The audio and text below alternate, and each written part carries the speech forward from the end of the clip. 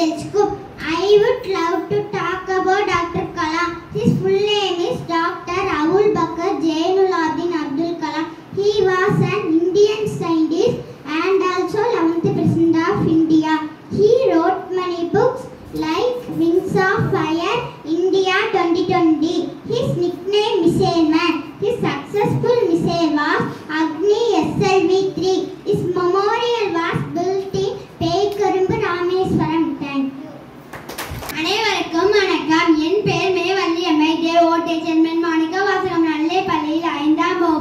வகுப்பு அப்துல் கலாம் பொன்மொழிகள் வெற்றி குறித்த நமதே பார்வை திண்ணமாயிருந்தால் தோல்வி நம்மை பாதிக்கவே பாதிக்காது.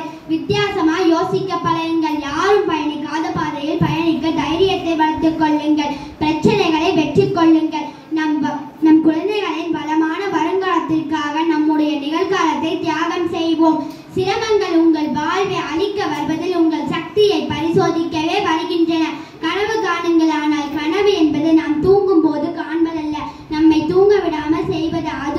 லட்சிய கனவு.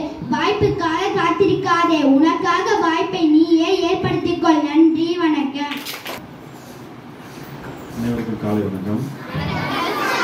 காலையிலே சொன்ன மாதிரி அப்துல் கலாமோட நினைவு நாளை பற்றி நம்ம அதுக்காக இன்றைக்கி அந்த நினைவு நாளை நினச்சி பார்க்குறதுக்காகவும் அதன் மூலமாக நம்ம புதிய விஷயங்களை தெரிஞ்சுக்கிறது இந்த மாதிரி இந்த நாட்கள்லாம் இந்த நிகழ்வுகள்லாம் ஏன் நடத்துகிறோம்னா புதிய அந்த விஷயங்களை நம்ம தெரிஞ்சுக்கணும் அப்படிங்கிறதுக்காக தான் அந்த நிகழ்வுக்கு இன்னைக்கு சார் வந்து வந்திருக்காங்க. திரு செல்வராய் சார். ஏற்கனவே நம்ம ஸ்கூலுக்கு வந்திருக்காங்க.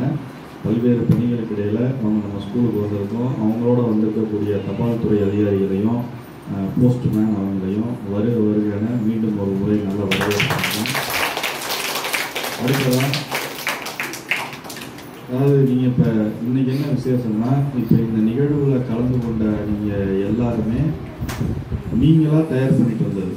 முன்னாடி ஸ்கூலில் டீச்சர்ஸ்கிட்ட கேட்பீங்க ஹெல்ப் பண்ணுவாங்க. ஆனால் நீ பேசின எல்லாருமே உங்கள் வீட்டில் நீங்களாக தயார் பண்ணிட்டு வந்தது.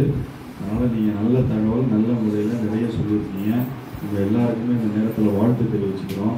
குறிப்பாக இந்த அப்துல் கலாமை பற்றி நம்ம எதுக்காக அவருடைய பிறந்த நாளையும் வந்து இந்த நிகழ்வுகளை நடத்துகிறோம் அப்படின்னு சொல்லி சொன்னோம்னா அவர் வந்து மாணவ சமுதாயத்திற்காக நிறைய விஷயங்களை செஞ்சுருக்கிறாரு. அறிவியல் ரீதியாகவும் செஞ்சுருக்கிறாரு. அதோட மாணவர்களுக்காக நிறைய விஷயங்களை கொண்டு போய் சேர்த்துருக்கிறாரு. அதனால தான் நீங்களும் பிற்காலத்தில் நல்லா படிச்சுட்டு வர்றப்ப மாணவர்களுக்காகவும் கல்விக்காகவும் உங்களால் முடிஞ்ச நல்ல விஷயங்கள் நிறைய விஷயங்களை செய்யணும்னு சொல்லி நான் நேரத்தில் உங்கள்கிட்ட கேட்டுக்கிறேன். அதனால் இந்த நிகழ்ச்சியில் கலந்துக்கிட்டு அவரை பற்றி பேசின எல்லாருமே இன்னும் நல்ல நிறைய தகவல் கேட்டுக்கிட்டு அவர் வாழ்க்கையில் சின்ன வயசுலேருந்து ரொம்ப கஷ்டப்பட்டு மிகப்பெரிய இடத்துக்கு வந்திருக்காரு. அது மாதிரி தான் இப்போ நீங்கள் நிறைய பேர் நினைக்கலாம் நான் அப்படி கஷ்டப்படுறேன் இப்படி கஷ்டப்படுறேன் சிரமப்படுறேன் நான் எப்படி வாழ்க்கை வாழ போகிறேன் அப்படிலாம் நினைக்கலாம் அதோட விடாமுயற்சி எடுத்து மிகப்பெரிய வெற்றி அதாவது இந்தியாவினுடைய முதல் குடிமகன் மிகப்பெரிய பதவி எதுனா ஜனாதிபதி பதவி மட்டும்தான். அந்த பதவிக்கு அவர் போயிருக்காரு. எங்க ராமேஸ்வரத்தில் கடைக்குடியில் பிறந்தவர் அங்கே போயிருக்காரு. அப்போ அதை நம்ம ஒரு இதாக எடுத்துக்கிட்டு இன்றைக்கி இந்த சின்ன வயசில் நம்ம இன்னும் மிகப்பெரிய வெற்றியாளராக வரணுங்கிறத நோக்கத்தை வச்சுக்கிட்டு வெற்றி பெறணும்னு சொல்லி வாழ்த்துறேன். நன்றி.